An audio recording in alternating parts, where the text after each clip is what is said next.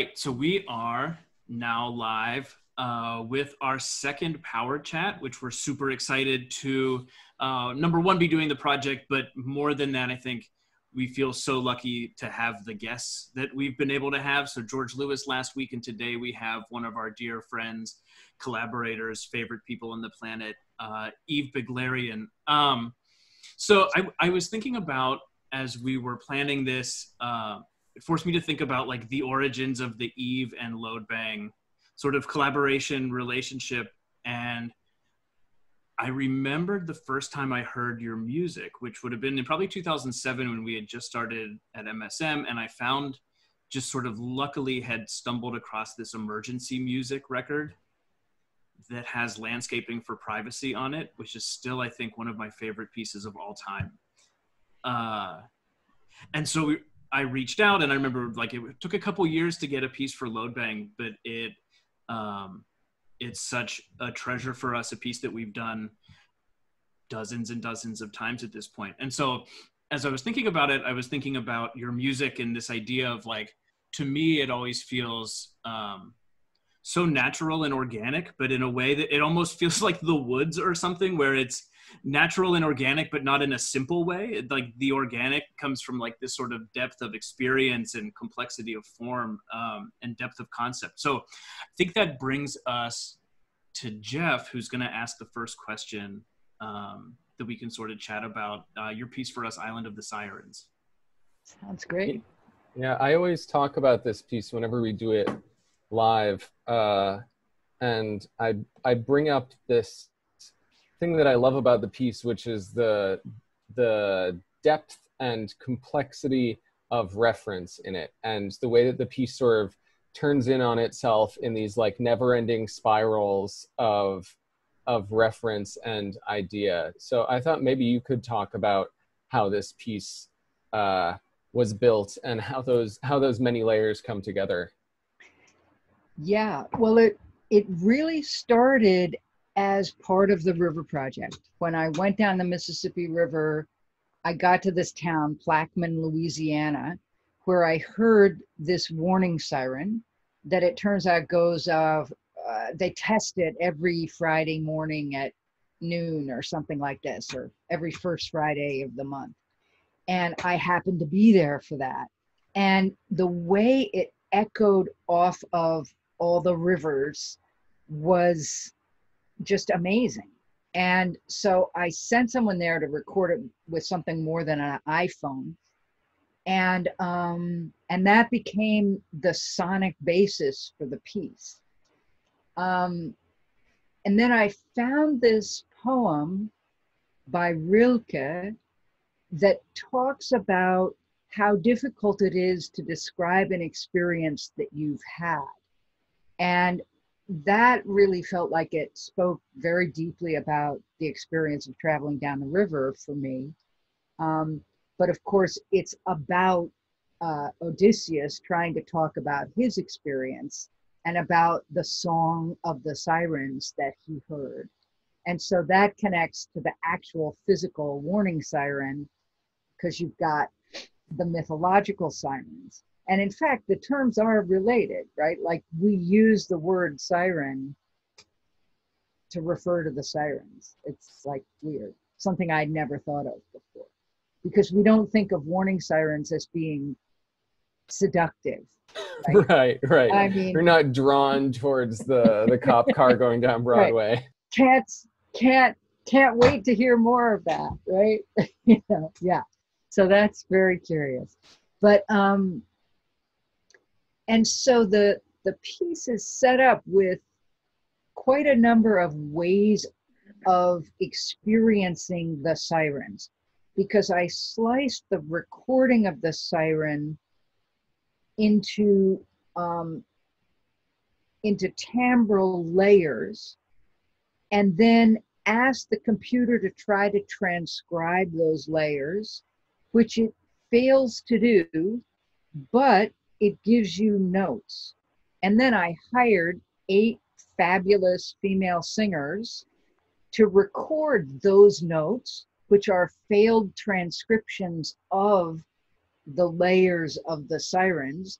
and that then gets mixed in with the original siren layers so that you have this intensification of error filled transcription as your tape part Right. right and then the three of you who aren't singers are listening to various layers of that of that um, siren recording um, and trying to replicate it in real time so you're listening to that on headphones and you are failing to replicate that in real time because it's far too complex for a monophonic instrument to manifest, as you know. Plus, you don't really know what to expect. I mean, even though you, by now, I have a question for you as performers. Have you now heard that tape part that you're replicating or attempting to replicate enough times that you can predict when various phrases are going to happen and kind of, in a sense, cheat? Uh, speaking for myself, there are definitely like I know the tape part now. I think uh, I keep track of what pieces we perform and when, and I think we've performed this piece upwards of 20 times. So between that and the rehearsal process and the recording process, probably heard the thing 50 times or so, and it's Yeah. not memorized, but I definitely know there's like a couple little things that are coming up. I know one little really short pop on like a low F that I can always kind of anticipate. Yeah, I mean, I, I, I would say that uh, at this point, the thing that's most clear to me is the shape. So, like, I think because of the complexity of it, it's not like I can remember like these sort of big moments or, or like registral shape, but the track is still so complicated, right? There's so much, there's so much sound and so much variety of types of sounds in it that like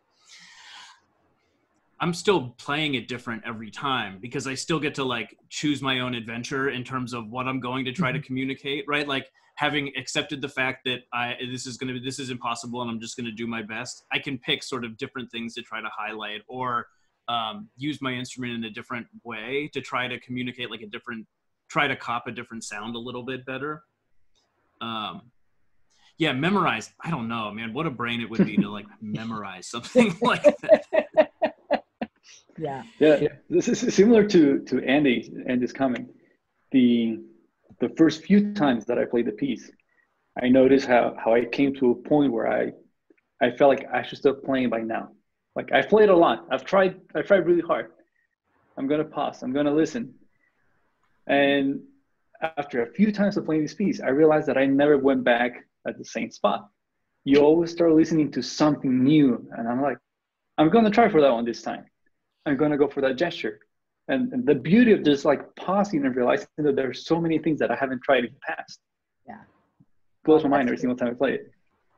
Eve, I wonder. Um, so one of the things that is super impressive to me in terms of what what you and Jeff both talked about, like the depth of, um, like the amount of different ways that you're looking at this one concept. When you wrote this piece, um, did you have all that planned, or did that all sort of line up before you started putting it together, or did you find that like as you started working on one thing, you sort of discovered a new connection and then discovered a new connection Yeah, that's a great. I mean, I think I was really interested in how it would be possible for music to embody that sense of failure, of the failure of translation, the failure of telling replicating an experience you've had by talking about it. And so I really was trying to think of all the different ways I might be able to embody that sonically.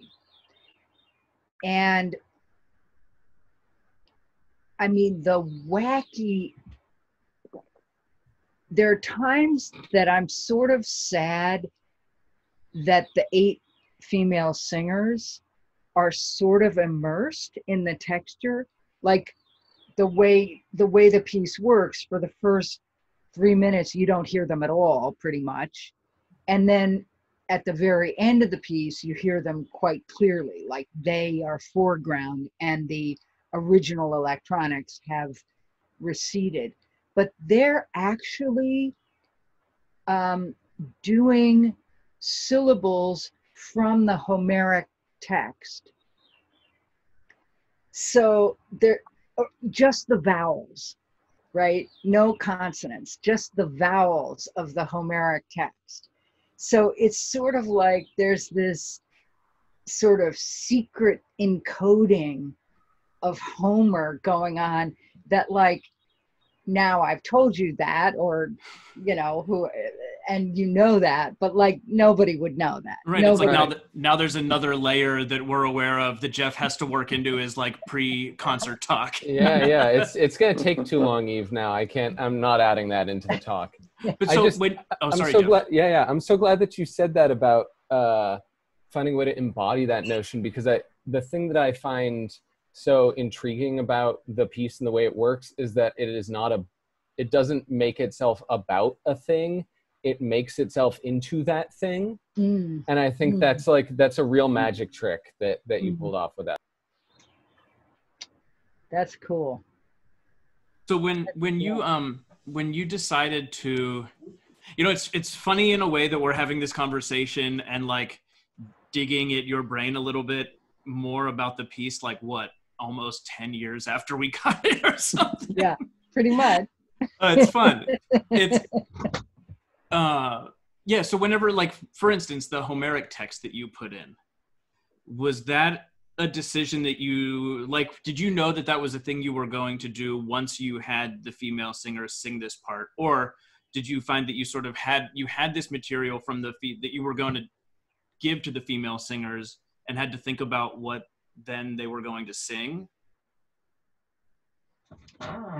Um, well, you know, now that I'm thinking about it, this the the sirens, the recording of the siren was also used in another piece that was an installation piece called Archives of Exile, and we and that was a collaboration with a linguist in Sheffield, UK, a guy named Richard Steadman Jones.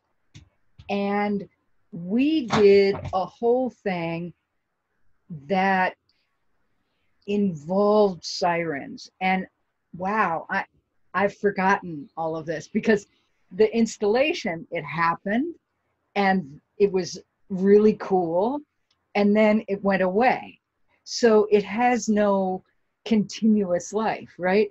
whereas island of the sirens your your piece as as will mentioned you know you guys play it you sing, you perform it regularly and so it has this life this ongoing life and is far more foreground in my life than this installation that happened 10 years ago in Sheffield UK right but um but like we went and photographed. I went and photographed the mermaid parade at coney island right as part of this piece. And so we could have a whole video you guys. I'm just saying you know like if you want to take it further we could we could bring that in. That'd be cool. yeah. Yeah so i don't know if that answered your question. I lost track of the question. Yeah i don't know if it matters.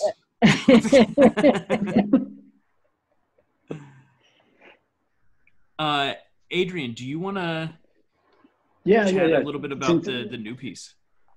The the new piece you you see where this is going. And since we're just on the topic of the impossibility impossibility of playing your music you know, the sirens right and i wanted i wanted to ask you about what inspired you to use the text by the poem by uh, Brendan Constantine. The the fact that you've mentioned before the the piece can it's a, a little bit about how how naming things obscures them right? How does how does the text relate to that and why having that that title for that piece yes. Well the genesis of that was that a visual artist friend of mine, an Italian visual artist by the name of Vittoria Chierici, wanted me to set some of um, Rilke's poems about roses, which he wrote towards the end of his life in French. And they are quite curious and hard for me to relate to. I did not find a way in to these poems about roses. They felt flowery and over the top and like not my kind of thing, right? Mm-hmm. So we were, but she has these really interesting paintings of roses that she paints with the kind of paint that, depending on the light, you can see it or not see it. You know? So do you so, mean like is it like a uv thing or is it like yeah? Yeah. Oh cool. So depending on the light in the space the painting is entirely different in daylight and in night which i think is really interesting and in fact curiously relates to the sirens in a way that i had not I mean, we've got Rilke and we've got the we've got the impossibility of yeah, yeah, very interesting. So so we I was struggling with what to do about these Rilke poems because I could not see a way of having you, Jeff, sing these poems. I, I it just couldn't get there, right? And there's a poem of the day thing that shows up and it showed up in my inbox and it was this poem by brendan mm-hmm. constantine that was like you can't ever put roses in a poem you know and you were like yes you're right get them out of here. Exactly. And it just seemed totally perfect. And then the sense that the poem ends like there's this business about what you can't say which is roses. But then the poem ends with the line, the green place, this island, which also connects to, of course, the Rilke, the island of the sirens, right? So here there's a rose shaped island at the end of his poem that can't exist, but you're counting on to be there, unmapped, unmentioned till now. The green place you imagine hiding when the world finds out you're not who you've said right? So to me, that was just perfect because here's the rose which you can't name, and here's the thing that you've said you were one thing, but in fact you're something else. And I was thinking about it actually in preparation for talking with you tonight that like in a way we're in the inversion of that right now all of us where we're who we said we were, but the world is not what it said it was. Right? And we're in the process of trying to figure out how to function when the world has sort of completely belied any expectations we could have had, you know, about what our future was going to be.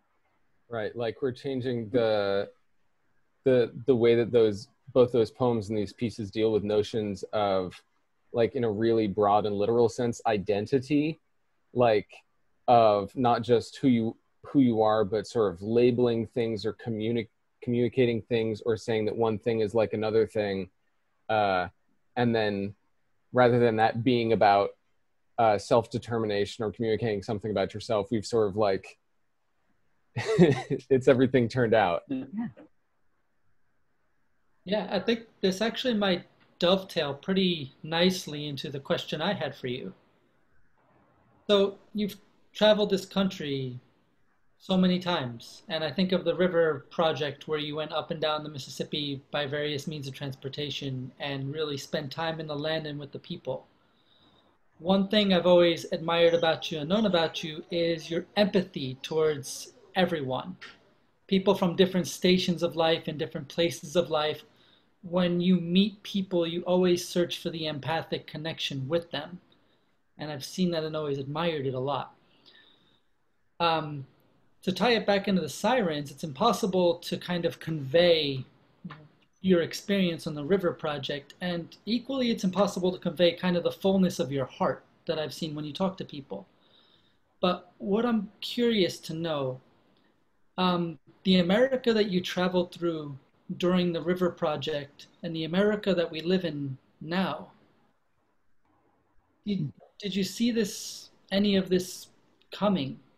how do they kind of do they superimpose on your on each other in your memory? Or do you feel like one informs the other or the present retroactively informs the river project in some ways? I'm really curious um, how your relationship with the land and the people of this land has evolved from then oh will hmm. that's such a beautiful question and we could probably talk for like an hour about just that. We have eight um, minutes. You're right. We have eight minutes. Let's see. How can I say this?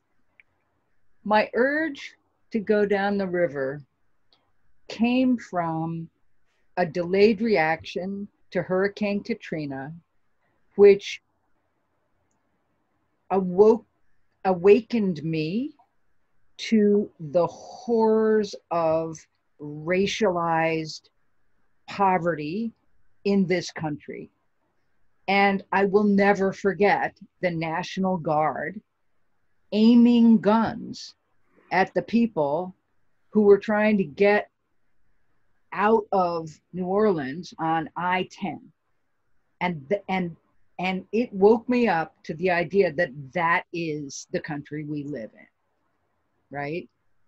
Where those people got turned back and put into the whatever that place was called, right?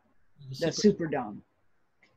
So, so, and subsequently we had a crash, and then we had the election of Obama, and so I was like, I need to find out what's going on in this country. I need to understand all of this. And so I'll do this one person WPA project in order to try to find out what's going on, right? And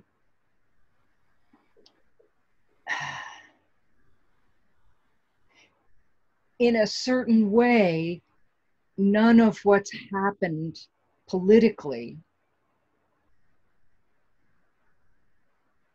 all the seeds of it were there in 2009 going down the river. All the seeds of it. The mistrust of government, which, when you come right down to it, that's how we get Trump is that we've lost the ability to imagine a government that actually took care of us. Right? So so there's that on the one hand and there is the ongoing white supremacy that runs this country that is just simply a fact. It's, it's in the soil. And how we're going to get to the next place because it's not about repairing some it's not going back to some time when things were right. It was never right obviously. I mean i don't need to say that to you um, and yet I love this country. I love this country. And I want us to figure it out. And I and I don't know how we're going to get there, but I feel like living into the discomfort of right now as artists, as people, rather than trying to normalize and say, yeah, um, let's get let's get let's get to something that feels comfortable. Like to live with the discomfort, I think is what is being asked of all of us on every level to with all our heart and all our strength live into that discomfort so that we can find a way to do something new that is healing for the future you know was that eight minutes probably Not quite. Keep it going. Keep it going. Keep it going. I wonder. Um, I know, like a lot of pe- people are having such varied experiences of like the now, both in terms of the social unrest and and the pandemic. Um, have you been making art? Um, at first, not at all. At first, all I could do was be anxious and clean my house, you know, and like organize piles of denial and stuff like that. That's what I did for the first, I don't know, six weeks. And then I started making things, but I found I couldn't finish anything. So I would make stuff, but I wouldn't you know i mean i have microphones i can record things like there there's no problem you know i can do that i've been doing it all my life right i simply could not take that the step that would then lead to calling it finished something about that i just couldn't get over that hump and then I began actually having external deadlines, right? Like I had to deliver the score and parts for a chorus and orchestra piece. When it will ever be performed, I have no idea. But contractually, I needed to deliver it.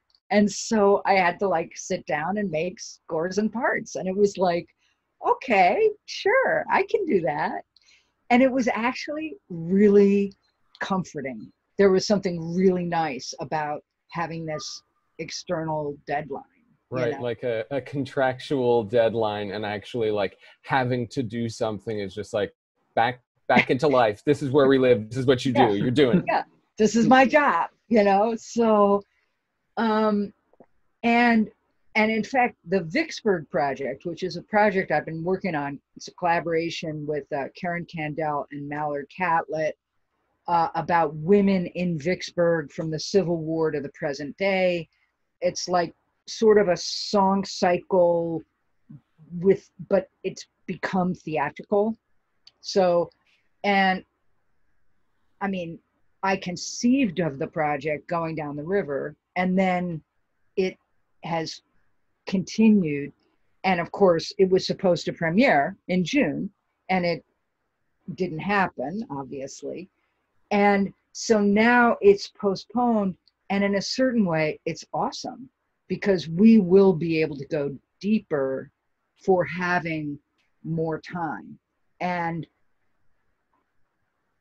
and what I'm realizing is that what felt like it was going to be the present day, the last section of the piece, is actually going to be historical because it's going to be about, you know, the teens and the 20 teens are an entirely different thing. Like that, you know, everything is different now.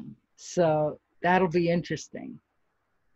That's great. Um, I think unfortunately we have to wrap up. Though, like you mentioned, we could do this forever and have done this for much longer periods of time. But uh, in order to be true to our word and our uh, power concert, power chat, keep it I tight it. relationship, I Uh, love it. the yeah, I mean, I I just want to thank you for for taking time to do it, but also I feel like um, our lives as like the loadbang unit but also as individuals feels like so artistically and emotionally enriched by having like you in it Oh, Uh, you guys. You're going to make me cry up here in my little composing cabin in Vermont. Well, that's that's like the whole goal of doing these things. Who's the first to cry? Who wins at the power chat?